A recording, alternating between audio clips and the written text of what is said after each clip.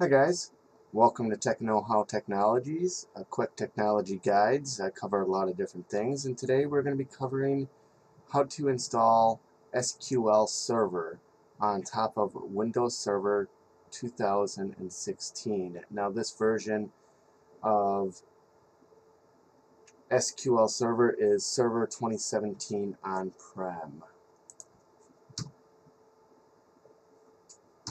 And so we already have a server built with Server 2016. It's already installed. We're going to do a lab demo of this and we're going to, I already downloaded the package but you can go to the Microsoft website, download a 180 day trial and uh, that'll work for a lab environment. If you're using it for anything with production in an actual enterprise, you're going to want to speak to Microsoft on licensing and such. So we're just going to follow all the prompts and then you guys can go ahead and ask questions, leave comments, and don't forget to subscribe or follow me on Twitter at MrDoll2. And alright, let's go ahead and get started. Alright, I already ha have my server open. Um, I just mapped my drive to where I have this and here it is I'm actually going to copy this over to um, to the local drive just because it might uh, help the install come along a little bit faster shouldn't take too long to come over there it is alright so we're gonna just double click on this and click run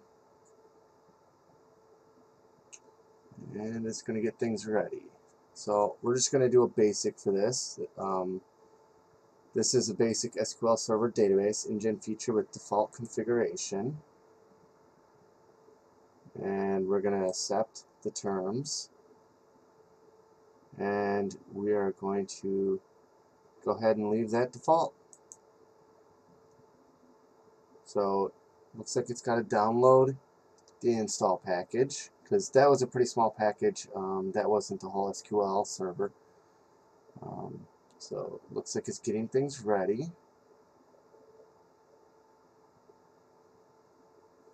Just so you can, guys can see this, I am going to leave it running. If it starts taking too long, I will go ahead and pause it and, you know, do the editing so you guys don't have to sit too long through it. But I do want you guys to see kind of what this looks like. Now, this version of server I do have running in uh, VMware on my uh, ESXi 6.0 server.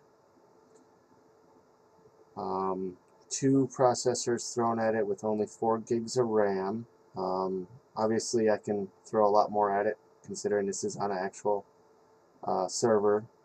This hypervisor is a bare metal hypervisor so it, I, I can throw up to 64 gigs of RAM at it if I really wanted to, but usually by default I only uh, throw 4 gigs of RAM at it. If it's Exchange server, I'll bump it up to 8 to 10 gigs of RAM, depending on what the server's doing. Um, I usually start out with 4 and see how it reacts, especially with like domain controllers and things like that. In a lab environment or what I call sandboxes or fun boxes, I uh, only have 4 gigs of RAM on them. Alright, so it looks like it's acquiring setup files. So we're going to go ahead and pause right here.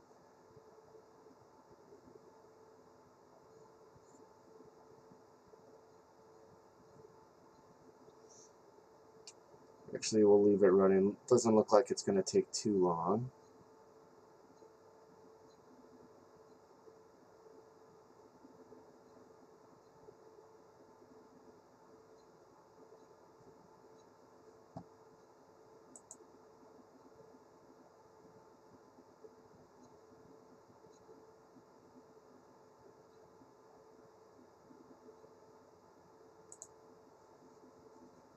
It's almost there. It Looks like it's, yeah, quite a, quite a few, but um, it's running through pretty fast. Now, when you go to download this, it will give you options to either pick the on-prem version or the cloud version, out now 365 slash Azure. I went with on-prem because my lab environment is on my server that's technically on-prem. Um, if you want to start up a free trial and do this out in the cloud, feel free. I'm guessing, I'm not entirely sure, I haven't tried it yet, um, but I'm guessing that they might uh, have a server already installed for you. I don't entirely know because I haven't done that yet. Maybe in an upcoming video I will do that um, just to show you guys what it looks like. Um, that's why I just wanted to clarify for the download on what I did. Um, so this server is just part of our work group. It's not even a member of a domain or domain controller or anything like that. This is literally just server 2016 eval um, 180 day license um, that I threw together just to put this together for you guys. Looks like it's just about done downloading install packages. and now it's verifying the integrity of the file so we are just about there alright it's uh, extracting setup files. Now hopefully this is compatible. I did not go online and read to see if it can be installed on an older version of server because technically server 2016 is going to be an older version. Um, hopefully there's no compatibility issues with SQL Server 2017. Um, if there if there is, we will work our way through it, find out why it won't do it, and then uh, we'll go from there. And I do have installs of Server 2019 up and running. Um, if you guys have or want to research more into it, they uh, they keep uh, the wiki docs out in Microsoft that actually um, will tell you all the prerequisites and everything you need and all the com um, compatibility. Um, I just I did not have time to go through that today, so I wanted to get this video up and show you guys the install. Typically, um, on my other lab environments where I had Microsoft Identity Manager 2016 install, which requires a database, so I use SQL Server 2014 which was the setup looked quite a bit different, um, but it was very easy to install and uh, very quick. So I guess we'll see how this is. I guess we could uh, could I do a little review on uh, on uh, how well Microsoft released this package of uh, SQL Server. So it says it's installing SQL Server. It's kind of weird because I didn't have options for the um, tool packs and everything else. Um, I'm wondering if those uh, will be coming up next. Um, on server to our server SQL Server 2014, I know I had options on what packages I wanted to install with the SQL Server. Maybe because I picked basic, um, I'm not going to get the toolkit. But if you don't really need to do much administration within the actual database and you only need an application to connect to the database and the application kind of takes care of it for you, then this would definitely be the route to go. I know sometimes SharePoint, you don't really need that full package and stuff. You just got to point it to it and SharePoint will kind of configure all of its containers and everything inside of the database for you. Same with like uh, MIM, Microsoft Identity Manager uh, did that as well for me. And I mean, there's a lot of different uh, applications out there that require just like a basic addition of SQL for a database to be there. Or it also gives you the option just to use a Windows database that it pre-configures in a, I'm guessing like a flat file on your local file system of your uh, server. now some upcoming videos, while this is running, I'll run through this, some upcoming videos. I wanted to do uh, a video on installing, configuring, and using Adaxes. Uh, this is kind of open source, but not. You have to pay for licensing depending on how many computers and stuff, but they let you download a trial, which is really nice. And Adaxes is uh, software to help you automate Active Directory uh, routine maintenance of like accounts and groups and things like that uh, even mailboxes, file shares, things like that. It is actually really nice. Um, it does not extend the schema of Active Directory, but it does give you a nice, quick, easy, clean way to run things through, and it is compatible with um, Windows PowerShell, which is really cool because you can do a lot of automation with Windows PowerShell. I currently do some in uh, the enterprise environment or the place I work at. So I, I really like Adaxes. Um, it's actually not priced that bad for a company to purchase. Depending on how many users you have in your environment, that's how they kind of rate it. And then the cost per year for maintenance, uh, updates, and support. So a lot of software companies will charge the same style like that. Like you have X amount of users in your environment, so you have to pay this much, and then an ongoing maintenance or support costs as well. I mean, that's how open source uh, uh, software, even uh, Linux works. Um, you can download it free, put it in your environment, but if you want to support and all the good uh, quick uh, patches and stuff, you're going to be paying for that yearly support, especially if it's in a production environment, you're going to want that. So if it goes down and you don't have someone that can very rapidly look at it from an engineering aspect inside of the massive environment or network infrastructure that you may have, then you're probably going to want that support to be able to lean back on that um, provider and say, listen, we need this up within this amount of time. And they usually create contracts with SLAs or uh, service level agreements. So just some quick little education on that stuff.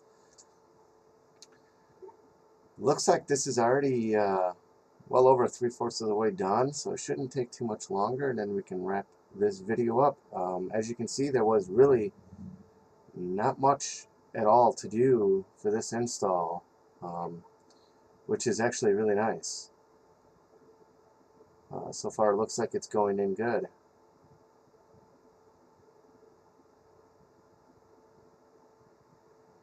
Looks like it's, yeah, completed, it's completing action, running actions. So, and maybe some upcoming videos I'll also do uh, installing like Exchange ser uh, Server 2013 on-prem uh, into a server um, and get that connected to your Active Directory and create some mailboxes with some users. And then I wanted to also show you guys in some upcoming videos uh, Orange HRM it's uh, almost like an HR software that you would enter in the employee information um, it stores it in a database you can export it out through Excel the cool thing I like about that is you could actually automate that into like Adaxes or PowerShell to automatically create the users, the mailbox, and the file shares and stuff like that based off of what HR is entering in. So I use it for testing at home. Uh, maybe try and get it hooked up to like MIM or Adaxes or just PowerShell itself, use, utilizing an Excel file, things like that. And then I also wanted to show you guys um, Universe Sandbox. I still have not gotten to that video. And we'll go from there. So it looks like it's just about done.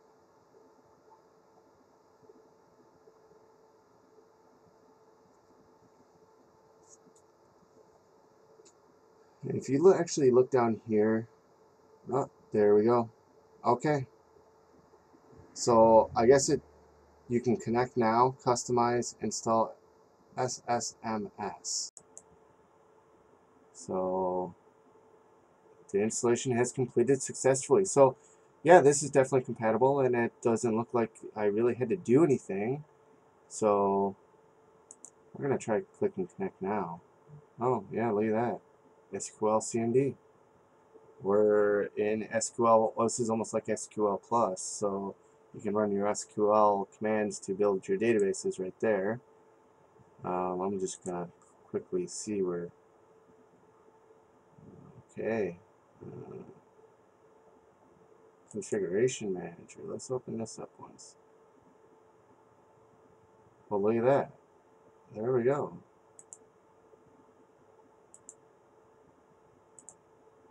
Alright. So that's there.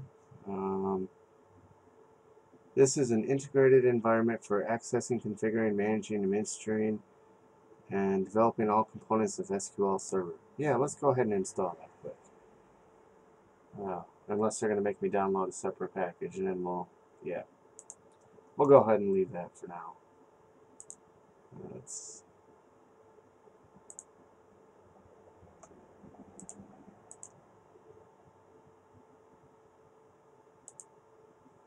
we'll leave that for now. Um,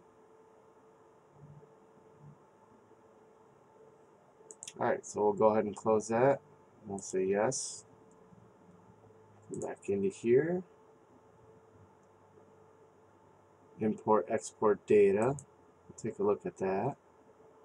So, yeah, there really was not much for you guys to do. Um, not much at all for us to do. This looks like this will export data for us if we wanted to.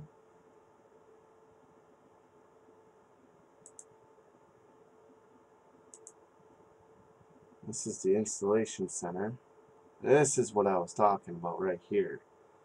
This is where you can come in and do a new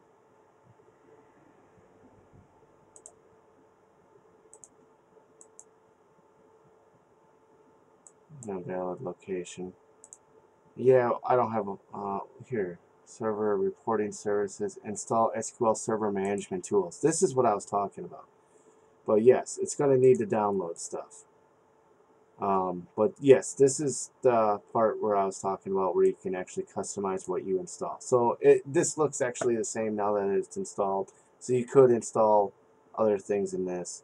Um, and maybe I'll make a part two video to this. Um, I don't like going through Internet Explorer and I'm not going to make you guys sit through me installing Google Chrome. So we'll go ahead and wrap this up. Please comment below. Please follow. Please uh, don't forget to subscribe and comment below. And thanks for watching.